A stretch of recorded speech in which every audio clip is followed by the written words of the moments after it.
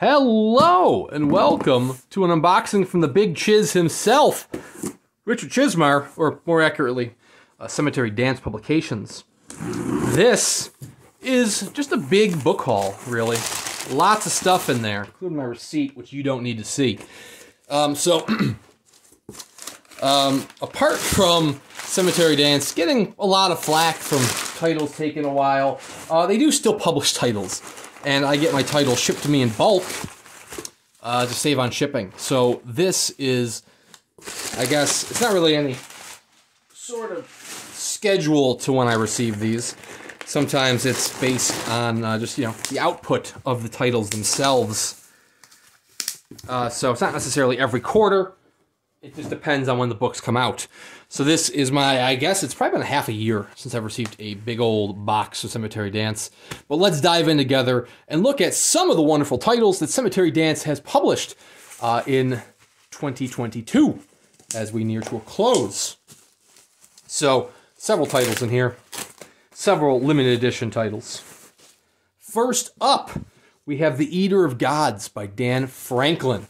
Now I did do a book review on this a few weeks back, uh, probably a month or two back, uh, which was based on the ARC that I had received, uh, which is the advanced, re- advanced review copy. But here in my hands is the limited edition, the actual hardcover, which I believe is still available. I know the hardcover's been selling like crazy, uh, so they just announced that they're doing a paperback edition, which is coming out soon. But very nice cloth binding, especially with the stamping on there. Uh, this is a cheap, affordable hardcover. I mean, it's a small hardcover, but uh, it's cheap and affordable, 40 bucks. Beautiful cover artwork there by Elderlemon Design, uh, also known as Keelan Patrick Burke. Very, very nice. Uh, Dan Franklin is actually uh, one of the warehouse magicians over at Cemetery Dance. So uh, you get a lot of care behind the scenes from Dan Franklin. let's look at these end papers. Nice. And there is the signature. It's not numbered, it's just signed by Dan Franklin. And I believe while signed copies are available, you can order it and request a remark from Dan Franklin. Uh, I did not get a remark uh, because I forgot to request one, but I did see online somebody requested an octopus, and it is a quite a nice remark. Um, Dan Franklin is proud to be an author, not as proud to be an illustrator, but he did a good job with the, the octopus. It looks pretty darn good. Uh, so I did do a review of the Eater of Gods over on my channel that you should definitely check out. Um, but in short, it is a uh, almost like a dungeon crawling tale of archaeology. Uh, a man suffering the recent loss of his wife. Uh, they're both archaeologists. Uh, they had devoted themselves to uncovering this tomb, uh, but she has passed before the tomb can be fully uh, fully explored. So, in her memory, him and a small team go to explore the tomb, and it turns out that uh, there might be some awoken spirits in the tomb who are not happy with them being there. Uh, it's not necessarily too strong of a horror title. Uh, it's more of an adventure title, if you will. Uh, there are horror elements, but um, it's not going to be as like balls of the wall, like horror factor. Uh, it's more subtle on the horror, if you will. Uh, it definitely more it more so explores loss, and it, it's very well written. It's very very good little uh, uh, short novel or novella, if you uh, if you want to call it novella. Uh, it's a tale of grief, tale of loss, um, with some tomb haunting thrown in. And it's not a bad thing. It's a good read. You should check it out. Uh, the next title is one that I'm very excited for. Now, these are the Graveyard Edition titles. they kind of have a nice little leatherette cover. This is the seventh one uh, Ronald Malfi, who coincidentally also was the author of the sixth title, Little Girls. This is the Night Parade. Now, I really wish, I know Centipede Pre- Cemetery Dance has had delays with their publishing, uh, but man, I, I was really hoping that these would be getting you know kicked out the door as soon as they can because these are just gorgeous. Uh, the end papers, they're just you know they're they're not textured or anything, but they're always nice little designs. Uh, there's Ronald Malfi's signature. Uh, this was limited to 500 copies, of which this is number 160, which is the number I try to keep going in uh, my Cemetery Dance titles. Uh, no interior illustrations like normal, but that's fine. Uh, the Night Parade uh, is kind of the story about a plague, from what I've read.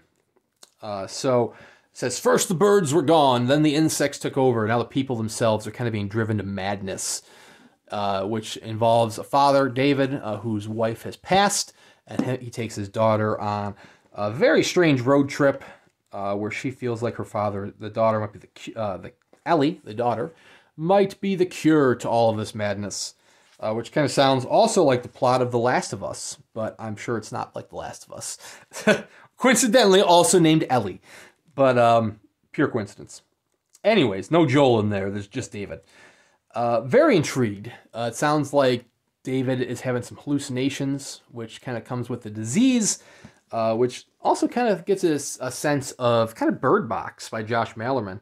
Although that's more of like you see it and then you immediately kill yourself. Although fun little connection between Ralph Malfi and Josh Malerman, they're both rock stars. So Josh Malerman uh, has his has his the high strung. Ronald Malfi has Veer that he is the I believe singer and guitarist for. So you know you can find him at a book signing or at a Veer concert. Uh, the Night Parade, uh, like most, I think, if not all of the Graveyard editions, is sold out. But uh, you can find it on the secondary market. They're not, you know, they're not usually too expensive. Uh, the only one that's a little bit pricier, or seems to be a little bit pricier, was uh, for a little while the first title, uh, which was The Handyman by uh, Bentley Little. And they had announced that Bentley Little, a lot of his other titles, We're going to get graveyard editions as well. That hasn't come into fruition yet. And uh, based on the recent edition of the store, hopefully that still happens, but I don't know. Anyways, we have two more books to show off here. The next one is Gwendy's Magic Feather by Richard Chizmar himself with a forward by Stephen King. This is the numbered edition. Um, this is going to be one where people are going to, these next two titles are going to be ones that people say, oh, they, this is why Cemetery Dance takes forever. Uh, both of these titles did take a while, but they, uh, at least this first one, hopefully, you can see it in the quality. There's some controversial stuff with the second one, but we'll get to that in a second. Anyways, Nice little slipcase. It feels like a pretty good slipcase for Cemetery Dance. For Gwendy's Magic Feather. Uh, this is the second title of the Gwendy trilogy. The first one, which was Gwendy's Button Box, uh, had the signed edition published by Lonely Roads, which is an offshoot of Cemetery Dance. This one has very nice exterior illustration by front uh, dust jacket illustration, if you will, by Francois Vaillancourt. Very nice work that Francois always does. Uh, interior illustrations by Keith Minnion, who did the interior illustrations for uh, the trade edition as well. Trade edition's been out for a couple years. The limited edition just came out this year. Letter edition is still in the pipeline. I actually have that on order as well. Um, I do have the limited edition of Button Box. It's gorgeous.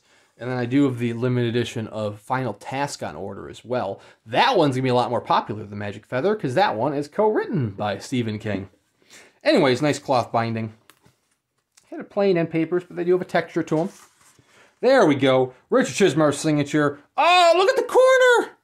Oh no! Bent as hell corner. That's sad. Ah. Oh well. Wow, that, that corner took a beating. I'll see if they have extra copies, because that, that looks rough. Um, it's not numbered. I thought it'd be numbered. Uh, it's just signed, limited to 750 copies. 2019 is when Ma- Magic Feather originally came out. Uh, so, introduction by Stephen King. I don't know. Did Stephen King have an introduction in the trade edition? I don't know if he did. I can't recall. He must have. Um, unless it's exclusive to this edition. But I don't know that it is. Interior artwork by Keith Minnion. Right there. Keith Minnion actually has his own YouTube channel. And uh, there are some little uh, art artwork videos on there, but he has a lot of woodworking too, which is really cool. Uh, very very big margins on this uh, because it's not a very large novel. Uh, so, Button Box was written co-written by Chizmar and Stephen King. Uh, Chizmar went solo for the second title, Gwendy's Magic Feather, which feature, features Gwendy Peterson all grown up. She's now working uh, up on Capitol Hill in Washington, D.C., uh, when she is brought back home to Castle Rock after the disappearance of several uh, young girls. And so now, Gwendy, who's kind of escaped from her past from uh, was John Ferris? what was it, Richard Ferris? It has to be Richard Ferris because John Ferris is an author. uh, Richard Ferris. Uh, yeah, because he's got the RF from you know Randall Flagg. Uh, Richard Ferris, who is the mysterious man from her past who gave her the button box, kind of comes back into her life, and so she is thrust into this uh, disappearance, kind of murder mystery plots. Uh, it's not bad. It's all right. Uh, that guy. It's it's it's not a bad it's not a bad story. Uh, it's not Chizmar's best. Chizmar has some really great short story, uh, really great short stories out there. This one's okay. Uh, this also has this. This was definitely not the trade edition. A bonus section featuring samples of Stephen King's handwritten corrections. So okay, there we go. So yeah, you have. Even though Stephen King did not co-write this, we do have Stephen King's handwritten corrections in the back. A nice little bonus section um, with a bent up and beat to hell signature page, but uh, yeah, that, that sucks. But I'll see. You never know. Maybe there's a non-dinged copy out there I can exchange it for. Uh, anyways, I don't know. I think this is sold out. I think Gwendy's Magic Feather is sold out. Uh, you can buy the trade edition. I'm sure you could find copies of the limited edition on the secondary market. There's also a limited edition through SST Publications, which uh, controversially published their limited edition like two years ago. Uh, they're, they're actually doing the limited edition for Gwendy's Final Task, the third title, and I think that's shipping now from SST.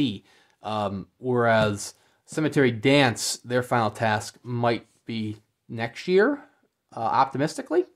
Anyways, the final title of this box is uh, a lot more controversial than Gwendy's Magic Feather.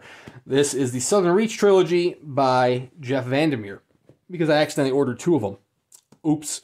Uh, I did get another copy of this, which I unboxed by itself on the channel. So you could probably watch more in-depth video there. I'm just going to kind of briefly glance through this one. Um, this one does have a slipcase as well. Slipcase is all right. Uh, some people were remarking that it's more flimsy than the traditional Cemetery Dance slipcase. But I don't know if that's true. I think it's mostly due to the size of the book. Um, like Gwendy's Magic Feather feels like a regular slipcase. This one's a little bit wider, which makes it feel a little bit flimsier. Um, but I don't know that it's necessarily different than the normal slipcases. Although the spine leaves something to be desired, a lot of blank space on it. So this one's more controversial uh, because it uh, it took a while, a long time, several years. Uh, in those several years, Subterranean Press did several VanderMeer titles. I'm gonna move this one because it's it's taking all the light from the light here. Uh, several VanderMeer titles were published by S- Subterranean Press in the same time span it took to get this one. Uh, so we had a bonus section of Gwendy's Magic Feather. Uh, controversially, we do not have a bonus section to the Southern Reach trilogy. It was supposed to have a bonus section, but it does not. Um, here we go. Jeff VanderMeer's signature also leaves something to be desired. It doesn't look like his normal signature. It looks like just more of a quick scribble. This is number 160 to match uh, my other Cemetery Dance titles. No interior artwork. It's just no table of contents. It just jumps right into all three titles from the Southern Reach trilogy. Um, I some say that they didn't put a table of contents on there to try to hide the fact that there is no bonus section. Uh, when this was originally announced, they said it would have an extensive bonus section that uh, an extent they would have an extension uh, extensive bonus section of Area X information, which never came to fruition. Um, I know some of the copies also had kind of damaged pages. Uh, I don't know if this one does. I imagine it did. It was kind of like a printer error, but I don't see it by flipping through it. When I'm reading it, I might find it. Um, nice little stamping on the cover. Uh, stamping's all right. Uh, this is sold out. It's been sold out for years. Uh, hopefully, Jeff VanderMeer actually got his art, his author copies, because he was not a happy camper about it. Uh, he expressed his uh, displeasure with working with Cemetery Dance, which is a shame. I don't want any author to have any displeasure with any of the uh, publishers out there. And there are some definitely some crummy publishers out there. I don't necessarily consider Cemetery Dance to be one of them. Um, they do definitely have their missteps uh, and their delays of publishing. but I, I think the quality is typically very good when you actually get it. I think Gwendy's Magic Feather is very nice. Southern Reach Trilogy is obviously a disappointment uh, in terms of not having the bonus section, not having interior art, not having the marbled end papers it was supposed to have. Uh, it was disappointing. But there are other great titles, like their uh, Graveyard Editions. Eater of Gods is really good. Uh, their trade line, uh, so Kevin Lucia took over the trade line at Cemetery Dance, uh, which includes ebooks and trade paperbacks. And he has been kicking ass with that. Like paperbacks coming out left and right. Um, but they've been having delays with their limited edition line and, and their lettered editions. They've had lettered editions that have been waiting on tray cases for years. Uh, there's one that I'm waiting for, which is I mean, I'm waiting for the, the letter edition of Gwendy's Magic Feather. Uh, I'm also waiting for the letter edition of Exorcist for the 21st Century by William Peter Blatty. P, uh, William Peter Blatty has been uh, dead for years, but the letter edition, which will have his signature in it, is still being held up by the tray case. Uh, and they have the books in the warehouse, but their tray case manufacturer is kind of a one man operation, and they've been struggling, so they've been behind for quite some time. Uh, but anyways, they are still publishing titles, especially the trade editions. Um, obviously, not all of their limited editions when they come out are going to make people happy, like Southern Reach Trilogy. But I'm fine with it. My TBR pile is big enough that I'm not jonesing for the book. Uh, so unfortunately, it does take several years for the book to come out, but um, you know it does eventually come out. I don't think Cemetery Dance is going to go under, although they are going to unfortunately be losing customers with some of the publications like uh, Southern Reach Trilogy here. Anyways, thank you very much uh, for watching the video. Uh, thank you, Cemetery Dance, for the books, uh, for the beautiful pack job. Uh, it's a shame about Gwendy's Magic Feather. We'll see if anything can be done about that. You never know. Uh, it's, it's a smaller unboxing than the last one I had. The last one I had had more than four titles. So it's a little disappointing this one only has four. But thank you for watching, and we'll see you around next time.